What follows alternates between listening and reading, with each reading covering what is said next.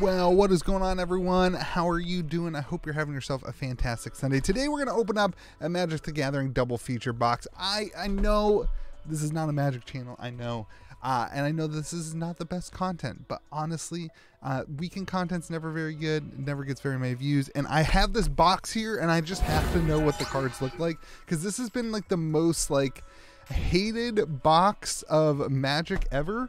Um, and people hate it people love it. I don't know. I don't know what it's like i don't know what's in it and i bought a bunch of them and i just need to know what's in it. So i'm opening it up. I want to know what's in it and uh, i i needed content for sunday. My weekend's been crazy. My wife's been working like crazy. So um, i anyway no more excuses. We're gonna see what's in this double feature box together. Uh, I've heard that these are kind of cool. I know Rudy did a video where he's like, "I'm buying them all." Um, because I'm right. He just buys what people hate. Um, these actually, like, I love the auxiliary products like this that people don't like because nobody invests in them. Everyone's too afraid of it, uh, and so like that's the type of stuff that I I get because they're not going to print that many of it. Uh, dual for like oh so this is all black and white. See like that's kind of cool. The question is, are they cards that you actually want? Um, like and like what do the foils look like? Galedrifter okay so it's like all the cards from the two sets but like they just made it dark. Like they took the same artwork they just made it dark. It's kind of a lazy product. Um okay so you get lots of oh okay there's our first rare. Two rares and a foil. All right so this is what the foils look like. Like that's what i'm curious on. Like i do think something like this are they etched no, it's just like a regular foil. I think something like this, these could actually hold some, like the singles in this could actually hit some premium uh, if people want to kind of bling out their deck in this way. What I like about it is it reminds me of old, like the old horror movies, which I know that's exactly what they're going for. Um, and I love old horror movies. But like when I played Commander, I loved to try to get like unique, fun um, artwork things. Oh my gosh, there's like a baby there. Um, I used to like try to get like unique, fun art things.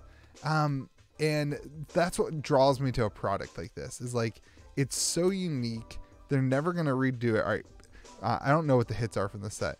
Uh, I assume one of them is um, like a planeswalker or something. Here's our foil. Like so, I don't know. The question is how many of these are there? Like this is something that people may try to set collect, but there seems like 210. That's a lot of cards. 328 on that one. That's a lot of cards. Like that's what the issue is. Um Spirit Knight Geist and the Bloodcaster. All right. I don't know. I just think they're they're cool. Like it's a unique product and that's what makes me excited about it. Um I like unique oh, we're, we're to skip to the, the commons. It's a unique product and that's what makes me like it. Um it's one of those products so that like it could just bomb and could be a bomb forever. Welcoming Vampire. But if you had a vampire deck, oh man, Scarecrow deck too. If you had a vampire deck or Scarecrow, like th- this would be the type of product that you would want these singles in there. The question will is will they just like do it in a Secret Lair or something? Um, I don't know. It's interesting. It's fun. Uh, oh, our first majestic, or what are they called? Uh, I don't even know what they're called in Magic anymore. Not majestic. Uh, mythic, our first mythic, Lier Disciple the Drown. Spells can't be countered. That's pretty dang good.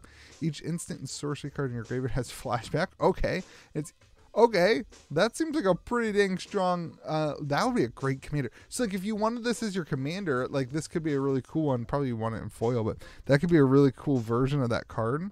And the Hunt Master foil rare, and then like the lands too. Like I think, man, I think people are kind of sleeping on this. I'm not gonna lie. I'm not gonna lie. I think people are kind of sleeping on it a little bit. Like a foil rare in that alt art is just gonna be incredibly like the volume of this product is low. Um, I don't know. I, I don't know. Who knows? Oh, a full a planeswalk. Oh, two majestics, two mythics. Sorry, uh, Arlinn the Pack's Hope. Daybound. If a player casts no spells during their own turn, it becomes night next turn. Interesting. Uh, okay. Create some wolf tokens. Maybe cast the creature spells if they had flash. That's pretty good. And then a Hellkite, the dragon. Ah, it's probably probably worth this. It's a it's a red dragon. All right, that was uh that was good. All right, so like, you know, I think sets like this uh, for Magic. One of the biggest questions I always have is, will they print too much? Um, in a set like this, it, it doesn't seem like they are printing too much. All right, so like the another uh, dual tap land, those are gonna be good for commander. Like that's a good hit. Um, I I just think you know like this was like this reminds me of the mystery booster boxes which i thought were a phenomenal product um and i i invested yeah, heavy for me is 10 boxes uh, i think i have 10 mystery booster boxes curse of the shaken faith and dying to serve what i want is a foil land in this artwork i think that'd be cool um i i just think like the the products that are shorter printed and not like printed for the mass appeal um, have a lot of potential in Magic. Uh, because the player base is like if one or two of these cards kind of takes off in Commander, takes off. Oh, look at the frog. Um, then I think like it's a it's a good thing, right? Like it, it's a good thing when you have that kind of large player base. And then this is the most rare version of the card. Yeah, I don't know. That's the that's the hypothesis anyway. Um, Undead Butler. But I, I like the art style. I think it's a little bit lazy. Uh, but it kind of fits the theme is the is the alternative idea there. Like you know the sets are both like werewolves vampire. Like this is like it fits the theme of like an old horror movie. Uh, maybe some sort of special foil slot would have done it a little bit more where it's like not like i hate their etched foiling but smoldering egg stitched assistant. All right this card I, I have heard of this one, the Stitch Assistant. Uh, maybe maybe that's part of the. There's some uh, arena thing going on with it. I've been trying to like be on the the edge of the magic scene lately. Uh, I've been listening to a couple content creators. I've been just trying to like figure out what's going on. Um, I am really excited for Kamigawa, and uh, like I'm just excited to kind of play. Oh, Cemetery Desecrator, another uh, mythic. Zombie. I love zombies. When it enters the battlefield or dies, exile another card from our graveyard, and move two counters. Man, I love. I had a, a zombie deck. Was one of the first commander decks I built. It was a digraph zombie deck, green and black. Um, so I don't know. I think like as a as a product, if if you can get your hands on this for, I think but like I think the other thing is they charge stores a lot more money on this stuff. Um, Florian they charge stores more for these than the, the regular booster boxes, which is kind of crappy. Uh, like, come on, just give your stores like a, a special thing. Like, come on, Magic. I don't know. Uh, I think these things are going to age pretty well. Gisa, the popular name, Faithbound Judge. All right, we're getting a lot of mythics. Um, I, I think these are going to age pretty well, honestly. I, I think the the whole spice of this is that it's it can't be reprinted. These are all essentially quote unquote you know reserve list. They're not going to reprint them. They didn't say that, but you know, like why would they, right? Like uh the Slayer, another human knight. I think the the question is does anything out here stand out in a deck? Like do you do you see any of these cards in the future if they put some new really cool commander or whatever, anything stand out and will any of these kind of become a chase and will this be the rarest version of that chase? Um, that that's kind of the the game you're playing with double feature, in my opinion. I have not looked at any of the singles. I assume that they are tanking and not doing very well right now. This is a longer play. Like this is a five to ten year play. I think, as most Magic investing should be. oh, I think we got a land back there. Oh, we did. I just went right for it. We got a land. There we go. Uh, oh, and a pithing needle. It's like that's a card that a lot of people play in modern, I believe, or is it is it Pioneer that Pithing Needles played. Um, anyway, so like this would be one of the rarest versions of that card. So like that's a win. It's a win for this whole idea.